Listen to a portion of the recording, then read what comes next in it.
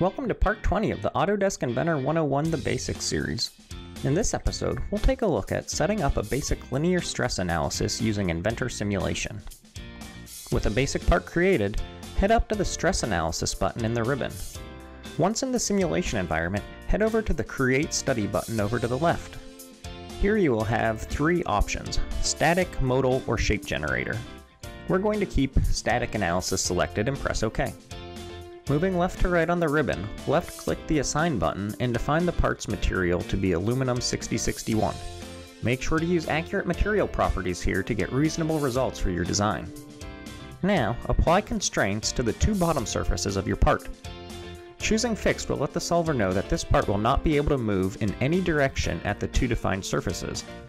After selecting them, press OK and move on to loads. Choose Force from the Loads tab, select the top surface of the part and enter a magnitude of 100 pounds force. This will distribute the load across the selected surface. You're now ready to run the analysis.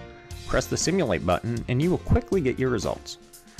Reviewing some of the results options, you can press the Mesh View button to see if your mesh is fine enough, use the Probe tool to find von Mises stress results in specific areas, and even animate the movement of your part under the loading conditions. From the model tree, you can also change the result display to another value such as displacement.